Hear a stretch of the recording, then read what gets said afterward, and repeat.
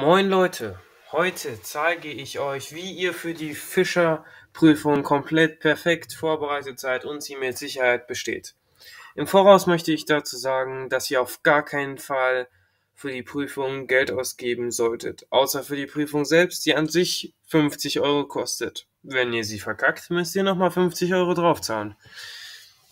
Das heißt, ihr kauft euch bitte als erstes mal auf gar keinen Fall Bücher, weil das ist absolut unsinnvoll. Ich werde euch jetzt erstmal zeigen, was ich dazu benutzt habe, um diese Fischerprüfung zu bestehen. Ich habe den First Try geschafft und zwar habe ich es geschafft, einmal 50 Euro zu zahlen und direkt zu bestehen. Mit 54 von 60 Punkten und das ist ein sehr, sehr gutes Ergebnis, wo man sich mit zufrieden geben kann. So, ich zeige euch jetzt mal, was ich fürs Üben verwendet habe. Ich blende euch da so ein paar Apps, so ein paar Zettel ein, damit ihr üben könnt. Wie gesagt, bitte gebt nicht für unnötige Apps Geld aus oder Bücher. Es ist alles kostenlos, was ich in diesem Video zeige und ich habe auch für nichts bezahlt, wo ich für die Prüfung gelernt habe, außer für die Prüfung selber.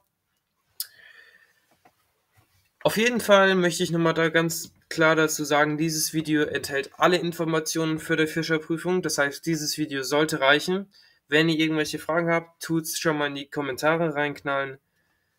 Ich werde sie euch vielleicht beantworten, wenn ich sie beantworten kann. Dazu möchte ich kein Hate aussprechen, aber hier diese Fishing King App oder sowas oder Fishing King Videos für Lernen ist allgemein richtig scheiße.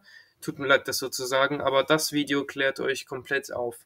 Für den Anfang lasst gerne mal ein Abo und ein Like da und wie gesagt, schreibt mir eure Fragen in die Kommentare. Ich zeige jetzt euch erstmal, wie ich gelernt habe.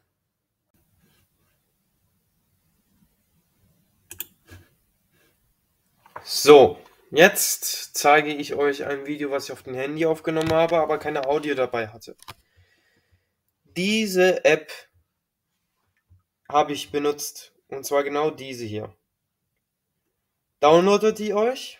Die ist komplett kostenfrei.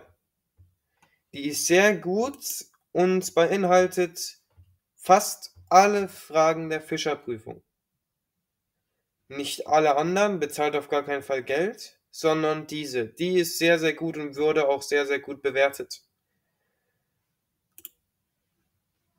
Die wurde mit einer 4,9 Sterne Bewertung bewertet, was mich auch dazu gebracht hat, diese zu installieren und wie man schon an den Bildern daran sieht, ähm, es kommen einfache Fragen und ihr klickt eine Frage an. Ihr könnt dadurch aber nicht zurückgehen. Das heißt, wenn ihr sie angeklickt habt, ist es richtig oder falsch. Ihr könnt nicht nochmal zurückgehen. Das finde ich aber auch gut so, damit ihr gleich wisst, ob es richtig oder falsch ist und ihr könnt lernen.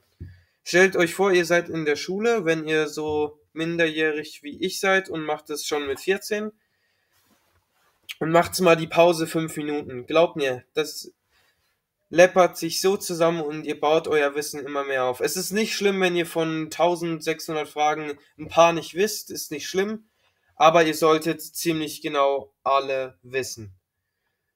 So. Man kann nie zu früh anfangen, will ich jetzt nochmal ganz klar sagen. Wenn ihr wisst, dass ihr in drei Monaten die Fischerprüfung schreibt, dann fangt wirklich punktgenau in drei Monaten an oder am besten schon früher macht nicht kurz vor der Angst alles, weil dann wäre es schade für die 50 Euro. Das finde ich auch übrigens gut als Anreiz, dass wenn man die verkackt, nochmal 50 Euro zahlen muss. Deswegen übt mit dieser Fischer Prüfungsangelschein-App. Die ist sehr, sehr gut für Android und iOS. Komplett kostenfrei. Ohne Werbung, ohne irgendeinen Dreck. Da gibt es auch Prüfungen, die sind aber nicht so gut wie die, die ich am Ende des Videos zeigen werde. Aber die könnt ihr auch machen. Wie gesagt, lernt da richtig viel. Das ist wirklich die beste App. Ich hatte ein Praktikum und habe in der Pause vom Praktikum gelernt, weil meine Fischerprüfung verschoben wurde. Damit müsst ihr übrigens auch rechnen. Und ich habe wirklich alles durch diese App gelernt. So gut wie alles. Es ist natürlich nicht alles, alles da drin. Ich glaube, es sind 1300 Fragen und es gibt insgesamt 1600. Aber wirklich, das ist allgemein für den Fischerschein Richtig viel. Ehre übrigens, wer das programmiert hat, das ist perfekt. Also, das hier installieren. und dann seid ihr schon gut dabei.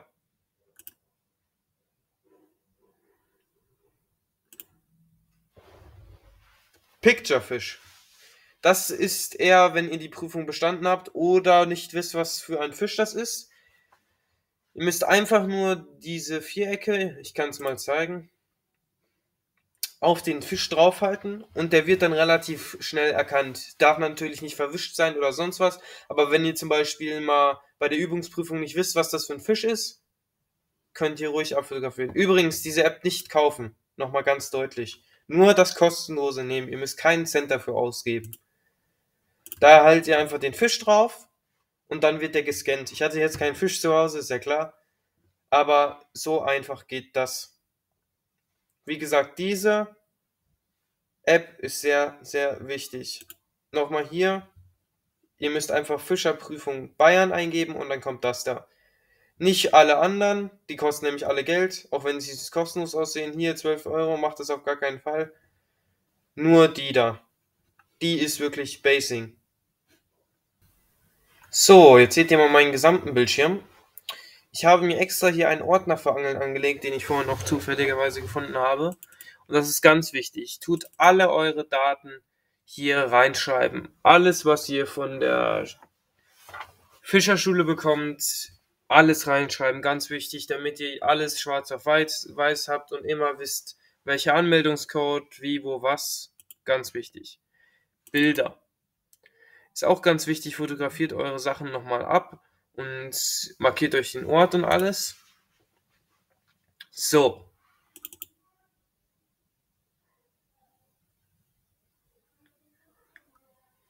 Das hier ist ein Knoten, den ihr für den Anfang braucht. Das ist eigentlich nicht so wichtig für die Fischerprüfung. Aber wenn ihr die bestanden habt, ist das ein sehr, sehr guter Knoten. Der reicht erstmal für die ersten paar Jahre.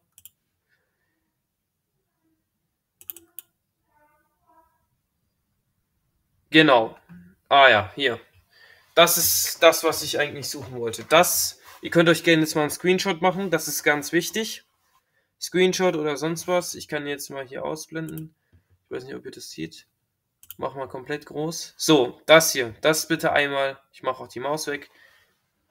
Screenshotten, weil das ist auch Teil, um zu lernen. Das sind nämlich die ähm, Schonzeiten von Fischen, Krebsen, Neunaugen, sonst was. Die auch lernen. Zwar kommen nicht alle dran, aber in meiner Prüfung kamen jetzt so drei Schonzeiten dran und dann ist es schon ganz gut zu wissen,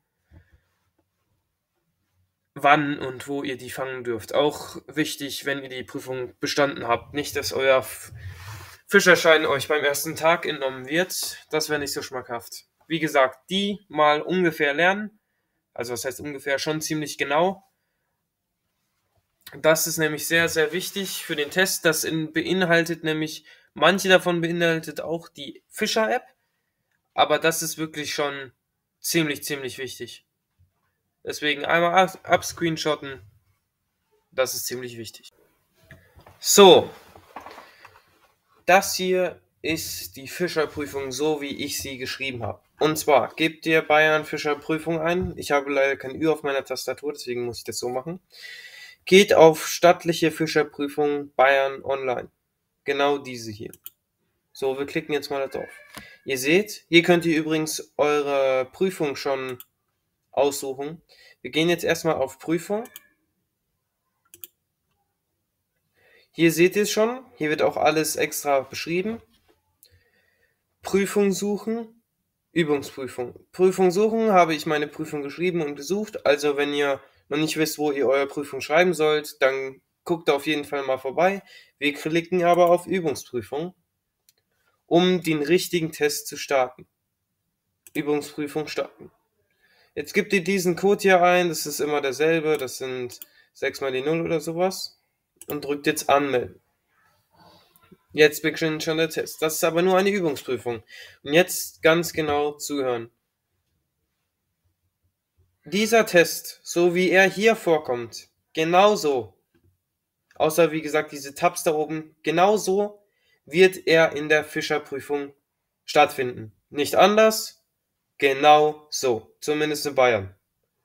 Genau so wird dieser Test stattfinden und ich würde euch wirklich empfehlen, in Bayern diese Fischerprüfung zu schreiben, weil das deutschlandweit dann euer Angelschein geht und whatever. Wie gesagt, diese Fischerprüfung habe ich genauso geschrieben. Die ist eins zu eins gleich. Wenn ihr zum Beispiel die jetzt falsch geklickt habt, dann müsst ihr zum Beispiel, oder wenn ihr euch hier nicht sicher seid, welcher Fisch das ist und irgendwas anklickt und auf einmal bei der 18. Frage, oh, ich weiß jetzt die erste Frage. Dann geht ihr einfach wieder hier hin und könnt hier wechseln. Ihr könnt überall hin und erst wenn ihr euch wirklich sicher seid, dass ihr alle Fragen richtig habt, dann klickt ihr auf Prüfung beenden. Nur ein kleiner Tipp. Meistens, wenn ihr nicht wisst die Antwort, ist immer der längste Text der richtige. War zum Beispiel bei mir so. Zum Beispiel wäre das jetzt hier der, wenn ihr es nicht wisst. Die befallenen Tiere sind als Laichfische zu bevorzugen. Nein, das ist. Nee, warte mal. Egal, ich möchte euch nicht da verwirren. Wie gesagt, so könnt ihr es benutzen und so kommt genau diese Fischerprüfung da. Das sind genau dieselben Fragen. Macht das ruhig ein paar Mal, das ist sehr gut. Bevor ihr auch ähm, die richtige Fischerprüfung frei schreibt, macht das auf jeden Fall. Das ist. Das war's mit dem Video. Ich hoffe, ich konnte euch weiterhelfen. Wie gesagt, Fragen einfach an mich richten. So habe ich die Fischerprüfung sehr, sehr gut bestanden. Macht das einfach drei Monate davor am besten schon anfangen oder früher. Umso früher, umso besser. Und ich würde mich sehr über ein Abo und ein Like freuen. Ja, bis dann.